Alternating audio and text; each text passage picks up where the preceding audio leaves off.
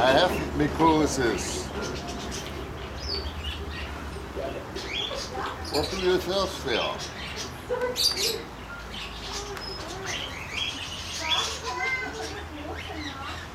Thank you.